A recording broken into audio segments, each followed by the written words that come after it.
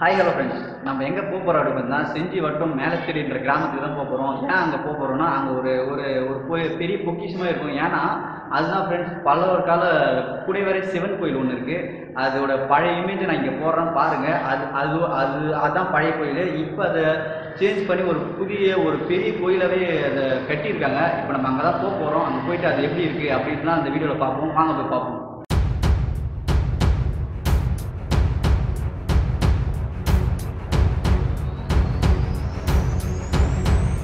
கோயிலுக்கு வந்துட்டோம். மத்தலேஸ்வரர் கோயில் போகிறதுக்கு இந்த வழி. அதுக்கப்புறம் இங்கே புதுசாக ஒரு முருகர் கோயில் இருக்குது இப்போ தான் பிரதிஷ்டை பண்ணி கோயில் ஒன்று முருகர் கோயில் போய் கட்டியிருக்காங்க. அது இந்த பக்கம் வழி. நாங்கள் இப்போ ஃபஸ்ட்டு மத்தலேஸ்வரர் போகிறோம் போகலாமா அது ரொம்ப பழமையான கோயில். அது மட்டும் இல்லாமல் ரொம்ப மன்னராட்சி காலத்தில் இருந்து அது அவங்க யாரெல்லாம் கடைசியாக மகேந்திரவர்மன் சொன்னாங்களே அவருடைய காலத்தில் கோயில் தான் அது அதனால் நாங்கள் ஃபஸ்ட்டு அதை தான் பார்க்க என்னடா?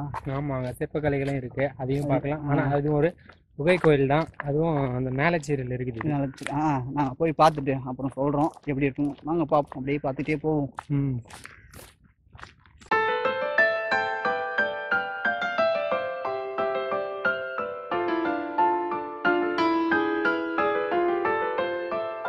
நாங்கள் கோயில்கிட்ட வந்துட்டோம். கோயில் பார்த்துருப்பீங்க. பார்த்தீங்களா பின்னாடி தான் இருக்குது கோயில். நாங்கள் இப்போ அங்கே தான் உள்ளே போக போகிறோம் போயிட்டு எதாக இருந்தாலும் சொல்கிறோம் வாங்க போகலாம்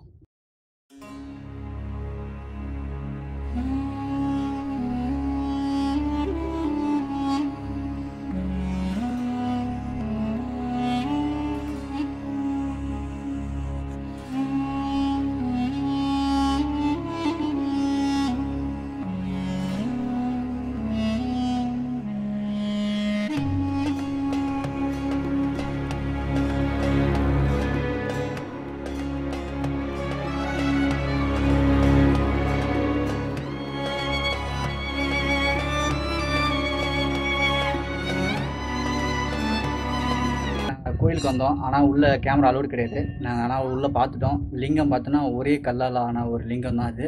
ஆஹ் மத்தலேஸ்வரர் ஓவராலாக எப்படி இருக்கும் கோயில்? இப்போ ஏதோ புதுப்பிச்சு கும்பாபிஷேகம் பண்ணியிருக்காங்க. ரொம்ப சூப்பராக இருக்குன்னு சொல்லலாம். ஏன்னா முன்னாடி இருந்ததோட முன்னாடி அந்த காடு அது ஃபுல்லும் தூசி அப்படி தான் இருந்தது. ஆனாலும் அப்போ பராமரிப்பு இல்லை இப்போ செமையாக பண்ணி வேறு லெவலில் இருக்குது கோயில். ஒரே பாறையால் குடஞ்சி செஞ்ச கோவில் தான் இது. அந்த பாறையும் சரி அதுல இருக்கிற லிங்கமும் சரி அதுல இருந்து ஒரே பாறையால செஞ்சது. பக்கத்துல வந்து பாத்தீங்கன்னா கிரகநாயகி அந்த அம்மன் இருக்கு. அதுவும் வெளியில.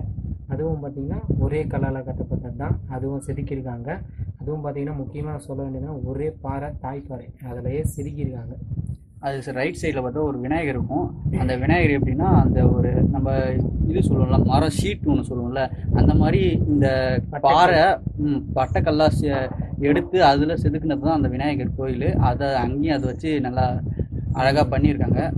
அதே மாதிரி பார்த்தீங்கன்னா முருகர் கோவில் முருகரும் அங்கே இருந்திருக்கிறாரு. அதுக்கு வந்து பார்த்தீங்கன்னா என்ன புராண கதையில் சொல்கிறாங்க பார்த்தீங்கன்னா இங்கே வந்து முருகர் இருந்திருக்காரு. ஆனால் அவர் வந்து கீழே இருக்க விரும்பாமல் மலை மேலே தான் எனக்கு கோயில் என்னன்னு கேட்டிருக்காரு போல. அதனால் என்ன பண்ணியிருக்காரு? அவர் அவருடைய வாகனம் வந்து அப்போதைக்கு யானைன்னு சொல்கிறாங்க அந்த யானை மேலே ஏறி பயணம் செய்யலான்னு போகக்குள்ள என்ன ஆகுதுன்னா யானைக்கு அசௌகரியமாக இருக்கிறது யானை மேலே போக முடியல அவரால். அதனால் அவர் வந்து மயிலை தன்னுடைய வாகனத்தில் அதில் ஏறி இருக்காரு போயிருக்காரு அப்படின்னு புராண கதையில் சொல்கிறாங்க இப்போ அடுத்தது நம்ம அங்கே தான் போக போகிறோம் அதையும் பார்ப்போம்.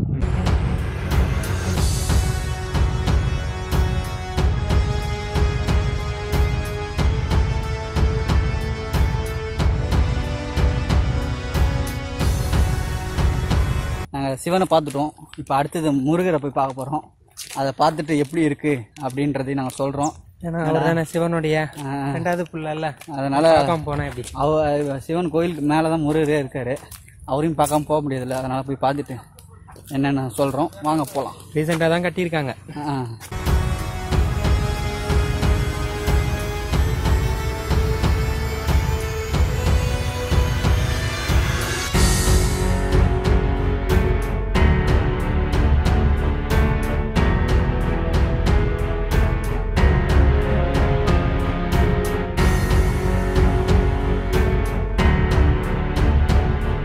மேலே வந்துட்டோம். மேலே வந்தோடனே கோயில் மூடி இருக்கு ஏன்னா காலையிலே பூஜை முடிச்சுட்டு போயிட்டாங்களாம். இதுக்கப்புறம் ஈவினிங் தான் வருவாங்களாம். வந்ததுக்கப்புறம் தான் கோயில் திறப்பாங்களாம். அது வரைக்கும் திறக்க மாட்டாங்களாம். சரி நாங்கள் போய் கோயில் பார்க்குறோம். கோயிலை பார்த்துட்டு எப்படி இருக்குன்னு சொல்கிறோம் அதுக்கு முன்னாடி கீழே ஆனால் திறந்து வச்சுருந்தாங்க. மேலே திறக்கல என்னன்னு தெரியல.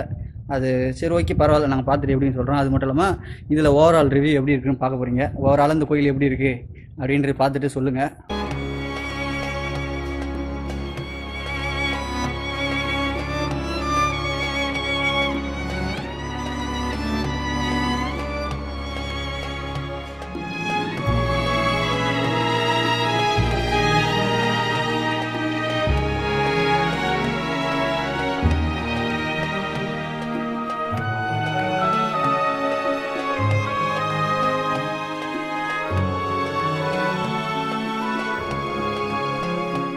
ஓவராலாக கோயிலை பார்த்துட்டோம். நல்லாயிருக்கு நீங்களும் பார்த்துருப்பீங்க ஓவராலாக எப்படி இருந்துச்சுன்னு. ஆனால் உள்ளே மட்டும்தான் எங்களை காமிக்க முடியல. ஏன்னா நாங்கள் காமிக்க மாட்டோம். நீங்களே வந்து பாருங்கள் ரொம்ப அற்புதமாக இருந்தது. ரெண்டு கோயிலுமே சிவன் கோயிலும் முருகர் கோயிலும்.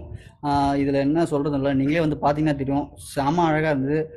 வரலாற்று சிறப்புமிக்க கோயிலையும் புதுப்பிச்சிருக்காங்க. அது மட்டும் இல்லாமல் மேலே ஒரு முருகர் கோயிலும் அமைச்சிருக்காங்க. நல்ல ஒரு அனுபவமாக இருந்துச்சு. உனக்கு எப்படி இருந்துச்சு? ம் நல்லா தான் இருந்துச்சு.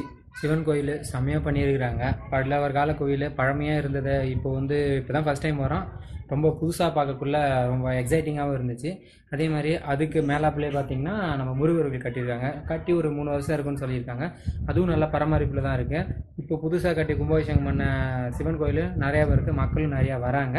சூப்பராக இருக்குது சூப்பராக இருக்குது ஓகே ஃப்ரெண்ட்ஸ் இந்த வீடியோ பிடிச்சிருக்குன்னு நினைக்கிறேன். பிடிச்சிருந்தா மறக்காம ஒரு லைக் கொடுங்க ஷேர் பண்ணுங்கள் சப்ஸ்கிரைப் பண்ணுங்கள் உடனுக்குடன் இன்ஃபர்மேஷன் தெரிஞ்சுக்கோ பெல் பட்டனையும் கிளிக் பண்ணுங்கள் தேங்க்யூ பாய்